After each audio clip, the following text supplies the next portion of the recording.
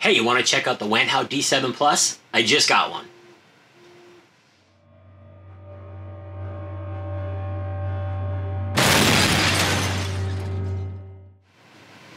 Hey guys, Chris from Versus 3D here, down at Versus 3D. Anyway, before I get into the video, we are undergoing a massive renovation type thing. So things are going to be changing around here really, really fast.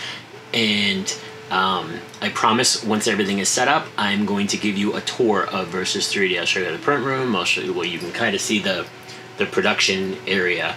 This is where I do all my modeling and all design work and all that stuff. And then over there, down there, I am going to have my finishing area where I'll have my airbrush set up and blah blah blah blah blah. Anyway, so pardon the noise. There's prints going on in there right now. Door shut. So well. Anyway, so uh, if you caught my last video um, about the where the hell have I been, um, you will know that I was upgrading my D7 to from 1.4 to 1.5, and I really wanted to make a video on that. In the middle of it, I discovered the LCD was broken. So I got my new LCD, I got all set up again, I started to do everything, and uh, I fried my LCD controller board. yeah, it happened. That's my life. Anyway, so I have a client who needs a bunch of resin prints done, and that's my only resin printer, so I didn't have a choice. I just went out and bought another D7, but I bought the D7 Plus. So everything's built in, brand new, all good. Anyway, so I'm going to show you how to take it out of the box. Check this out. Okay guys, here it is. The new D7 Plus. Whip this puppy open.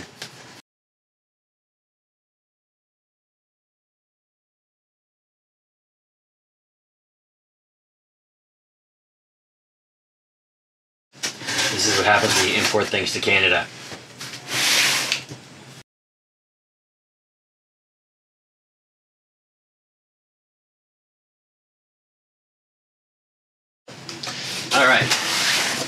We got in the box?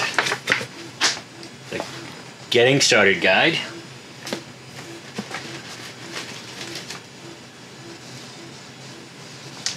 Apparently, there's a little Wanhao magazine, or is this the actual instructions? Hey, wow, real instructions. That's crazy. Not so bad. It's actually for Creation Workshop. I had no idea this was in here. And you get a couple of pieces of uh, the FEP and the printer with all of the rubbery, foamy things. All right, top case, top cover, coming off. Oh, and ripping the uh, ripping this right off. That was my fault. It didn't come like that.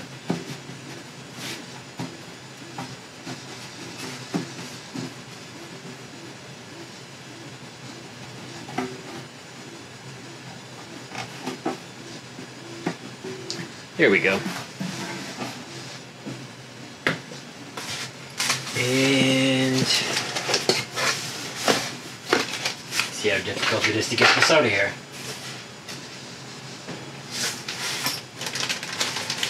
Actually, probably not very. Nope, not at all.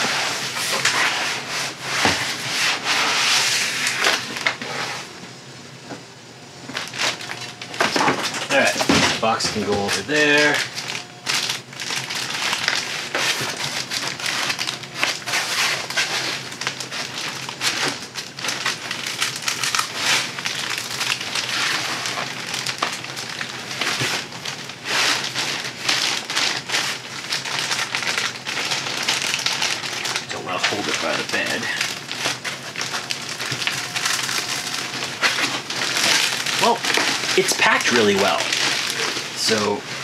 this. And we have a box.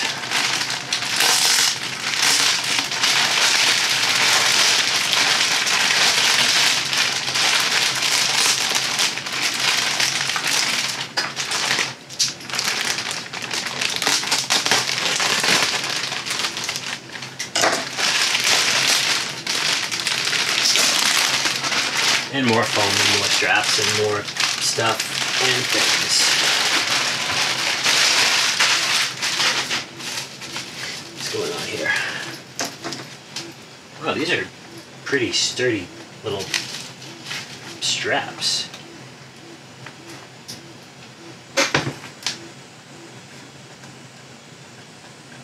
So again, it's packaged very well. It's like the thickest zip ties I've ever seen in my life.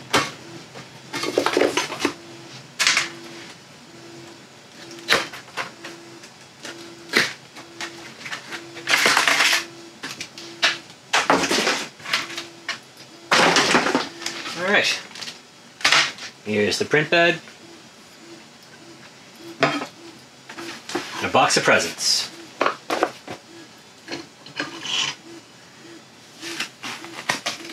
Resin vat, LCD. Let's see what's in the box of presents. I love presents.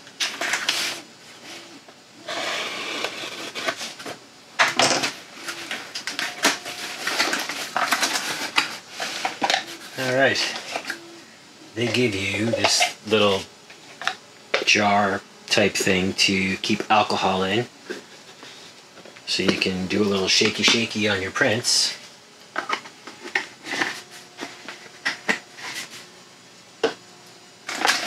Oh, resin. Who knew? Gray. I have like three liters of this already. But I like the gray. It's good. I have no idea what these are. Oh, gloves, I'm thinking.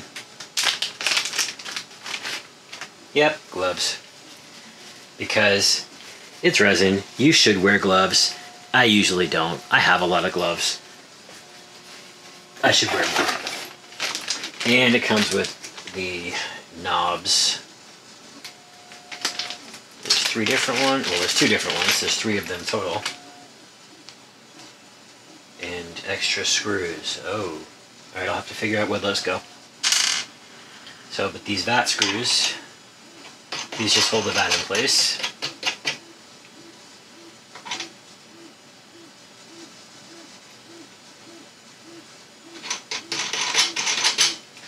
And then this one is for, there we go. This one is for the print bed.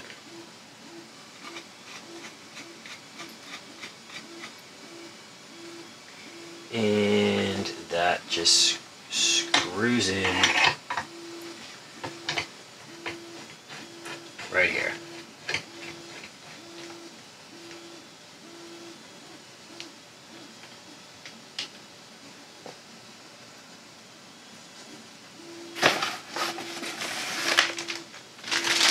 Also, the little bag that I pulled out first, and saving the best for last. Oh yeah, a scraper. Um, my old one, what I did is I actually only used this to clean the FEP, and I used a different scraper to actually pull prints off the bed, and the power cord, and one of these fancy drivers. Just like you see in the other videos. Ooh. Okay, let's set it up. Okay, so I dropped the power cable behind the table and powered it on just to make sure it works, everything's good. So now I'm just gonna take the build plate and screw it back in.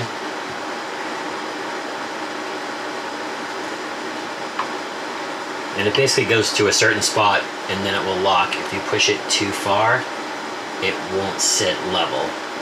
Level, levelly, lev. It won't sit at level. There we go. Okay, so now in order to level the build plate on this, all you do is loosen these screws here on the sides.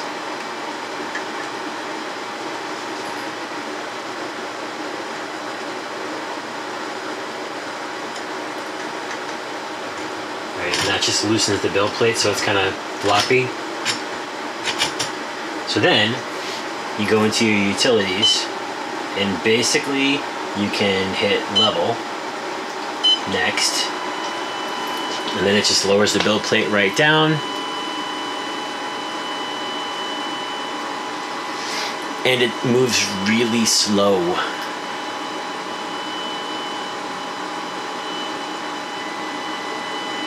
But I guess this kind of machine, you really don't want it to move very fast. So that's okay.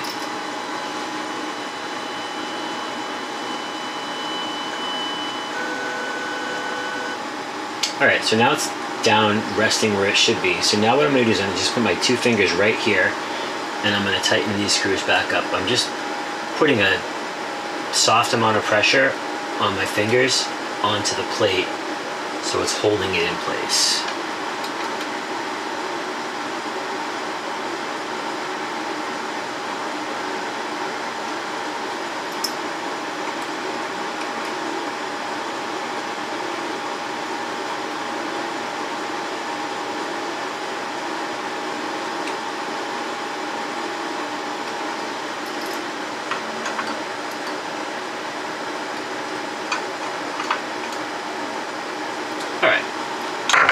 Now that's in place,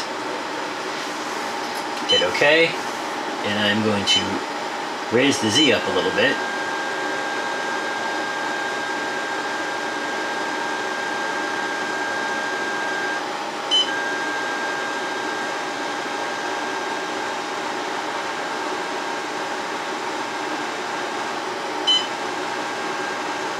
because I need to put some resin in the vat it's not going to print shit.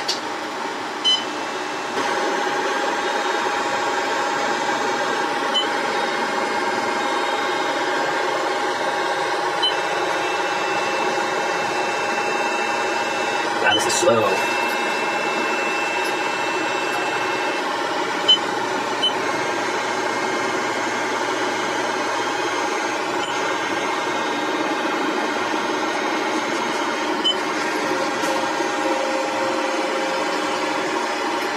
Okay, so I decided to use uh, just, I bought a little bottle of white resin a while back, and I have a few liters of this white resin, and I still haven't tried it.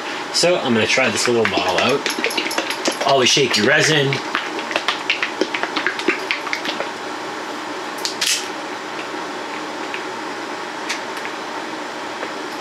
And of course it's sealed. So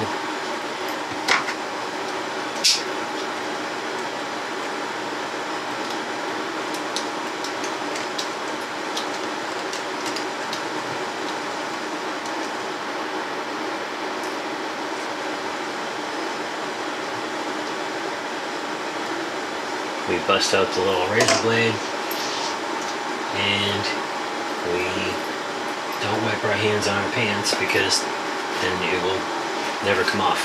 Okay, so now it's pretty milky white, so I'm just gonna pour some in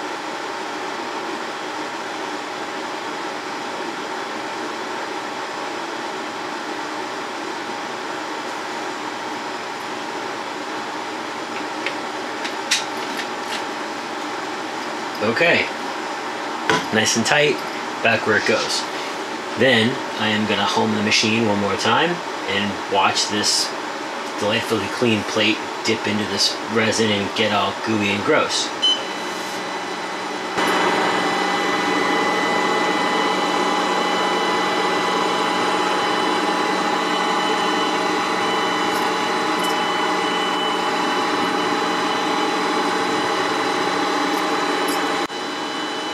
And we're in.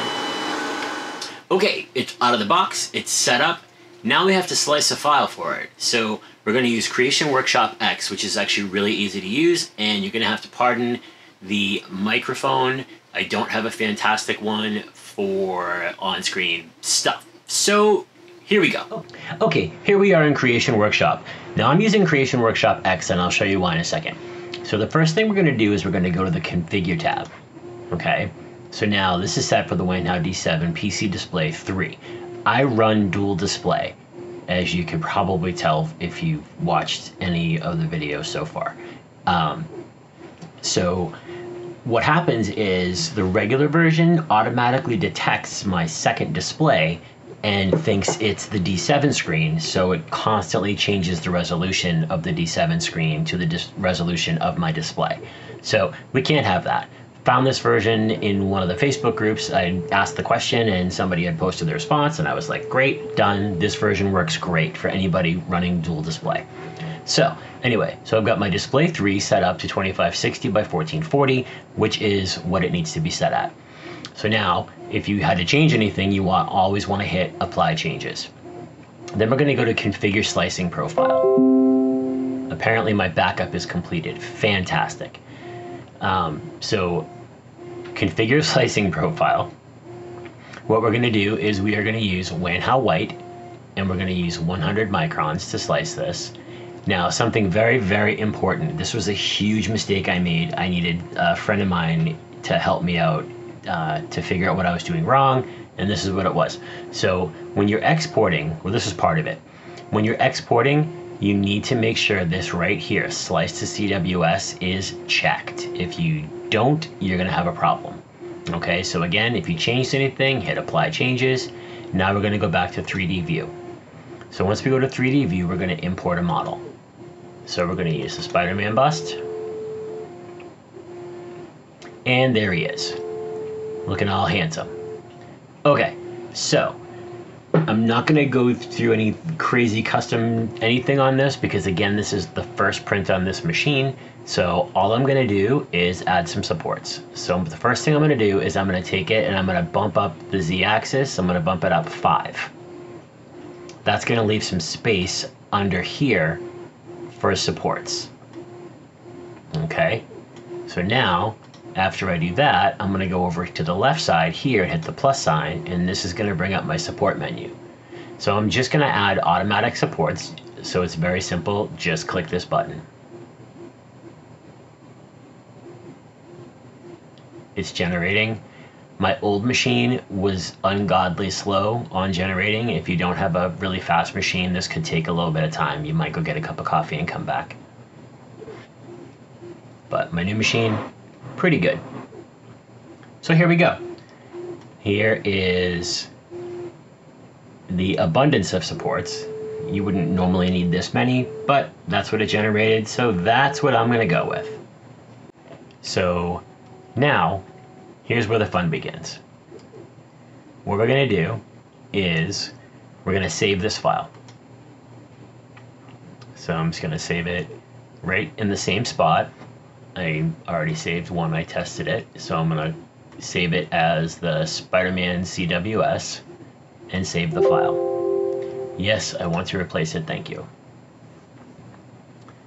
Okay, so now this is the important thing. Slice the model, uh, and then it will it will update.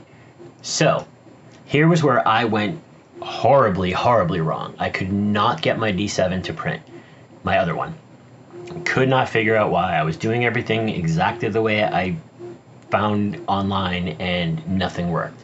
So again, the same friend of mine was like, "Hey, uh, what are you doing here? Uh, you tell me, walk me through your process." And this is what I did.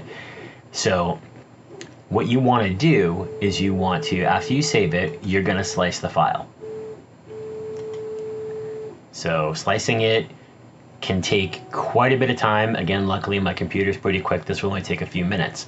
But what you want to what you're going to want to do is you're going to want to slice it and then save it because that's what you're used to. That's what I'm used to. But you can't. What happens is when you save that CWS file, anytime you change anything, it automatically updates. If you save it, it gets rid of any changes that you made. So you're basically creating a file, slicing it, and then once you save it again, you're deleting your slicing. So all you're doing here is hit slice, let it finish, and then you're done. I'm going to speed this part up so we're not sitting here waiting for a few minutes.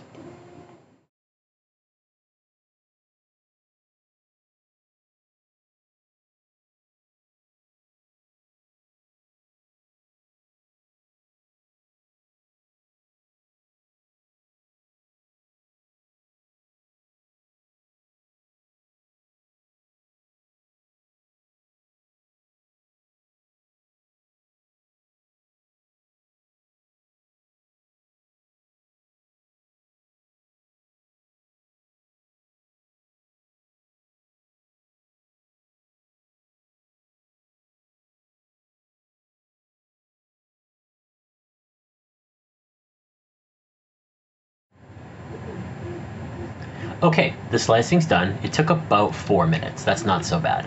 So now, if you want to look at your slice view, just click on slice view. This is the bases to the supports, and as you drag along, it will show you the slice view.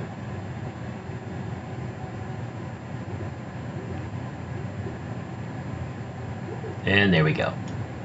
So now, again, do not click this save button. If you do, you're gonna ruin everything you just did. And if it took you a half an hour like it used to on my old computer, you're gonna be kicking yourself. So don't click this save button. So from this point, all you're gonna do is take that file that you created and save it to a USB stick and plug it into the back of the machine. Okay, and we're back at the machine. Now what we're gonna do is we're gonna hit print. Well, the USB, I put the USB stick in the back of the machine. I'm gonna hit print, and then we're gonna add a print, and we are gonna print the Spider-Man bust. So we hit that, hit the check mark, and then if you don't see this waiting here, you sliced it wrong. Um, it was a mistake I made when I first started using my D7. I was slicing the file and then saving it, and you can't do that. So you have to save the file, then slice it, it updates the file. If you save it, you delete all of your slicing.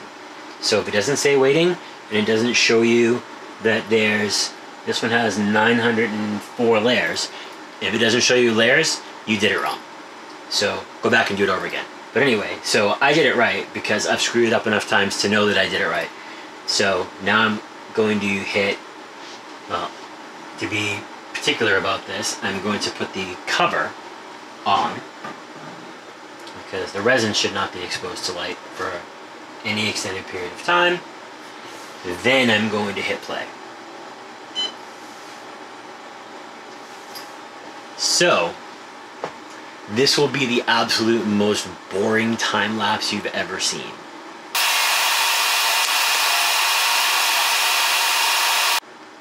Okay, that's just about enough of that. Let's see what happens when it's done. Okay, so here we are.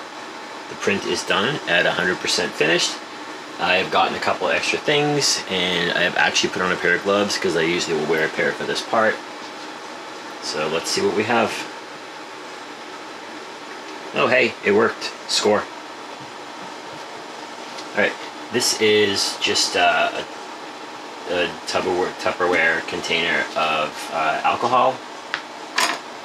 So now we're gonna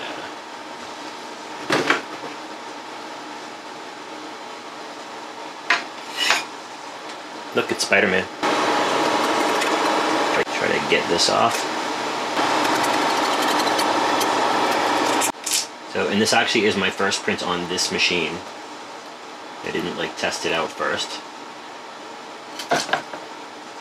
Alright, score.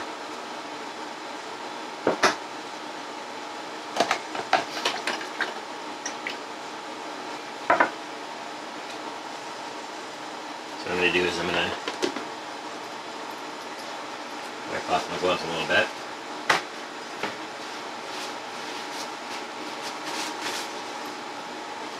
And give this a good swirl.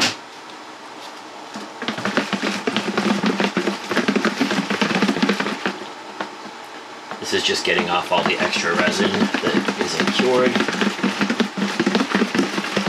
And hopefully it looks good.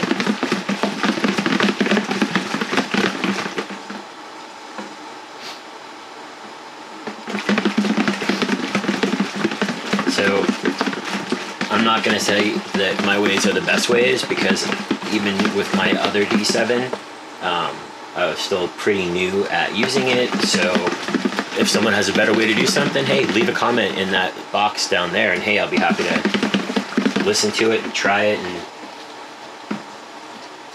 all that good stuff. All right. Well, we definitely need some calibration work because this doesn't have any of the detail that it should have.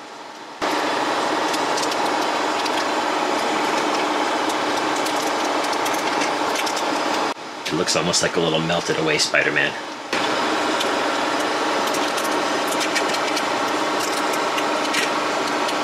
Just tearing off some of these supports.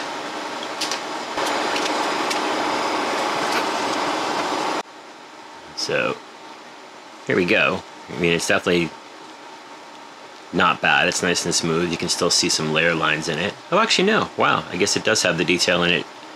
I guess maybe if I had sliced it higher res, it would come through better.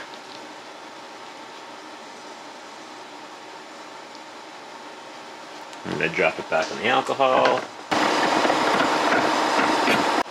But again, I haven't calibrated this machine. There's a calibration uh, print that you can run. Right. Little trick that I use is once I do that,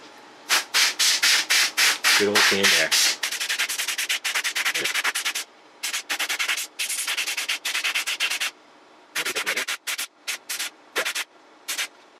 A little bit more alcohol, I think Just get a little bit more of that excess off. I think that's where my issue is. I don't know. I could be wrong. Maybe it looks like crap. I've seen some people say they let it sit in alcohol for like 10 minutes or so. I haven't necessarily tried it yet.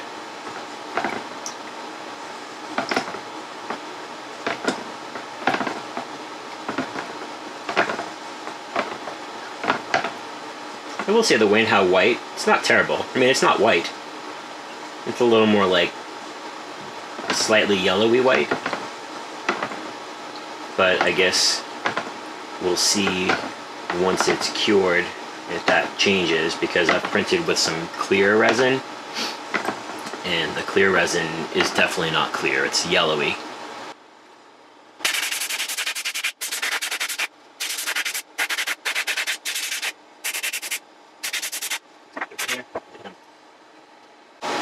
normally just drop this in here too, except it doesn't quite fit, just to get the resin off the build plate.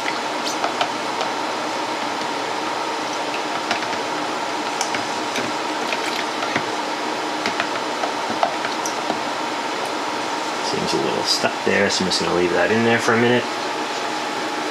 And I feel like I'm safe.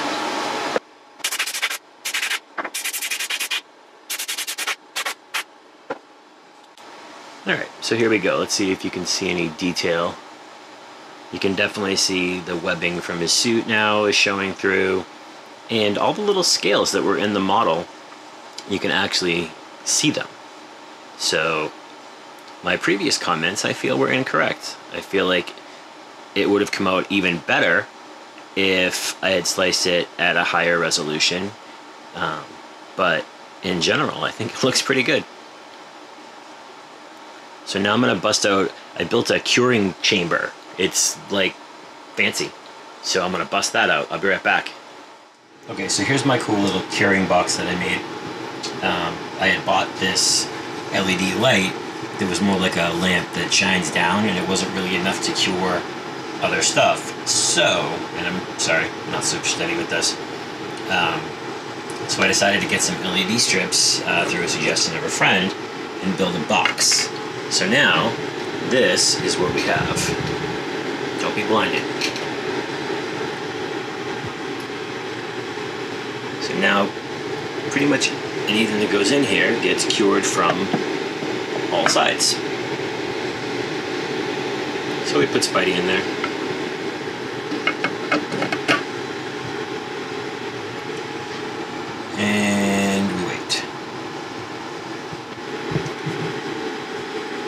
Okay, and should be about done. So take them out. I've actually moved it around a little bit now. And I didn't realize that in the corner, I don't know if it actually got on camera, but the very first thing I printed that, well, let me rephrase, the very first thing I successfully printed on my other D7 was this Voltron ring. And it was sitting in the curing chamber for some reason. Probably so I wouldn't lose it. I'll lose it now, though. So, there's Spidey.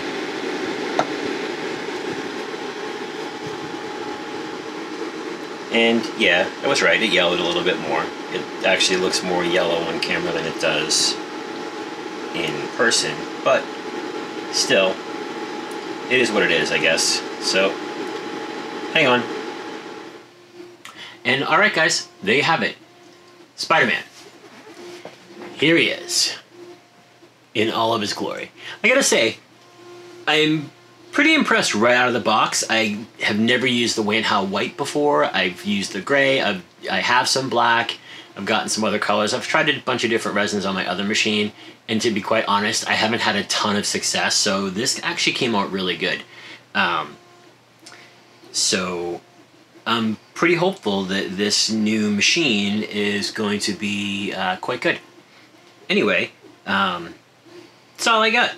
I'll keep you posted. I'll maybe I'll do another video sometime, not with Spider-Man, but with something else on the D7 once I get it really a little bit more tuned up. And uh, that's about all I got. So don't forget, there's a there's a thing like this down there. Click it. Not the one that goes like this. The one that goes like this. Click this one, not this one. And then if you want to leave a comment, leave a comment down there. And especially if you guys, anybody who has a D7 that's watching this video, if you see something that I did wrong, please tell me because I don't know, and I would like to know. And if you have any hints, tips, tricks, whatever, leave a comment, please. And uh, all that good stuff. Don't forget to subscribe over, I don't know, and then click the bell. I don't even know which side it's on. It's on, th- no, it's on this side, I think. I'm pretty sure it's on this side. Anyway, click the bell. That way you'll know when I post another video if you'd like to hear me ramble, because that's what I do, clearly. Um, anyway, this is Chris from Versus 3D. Hope you guys have a great day. Take it easy.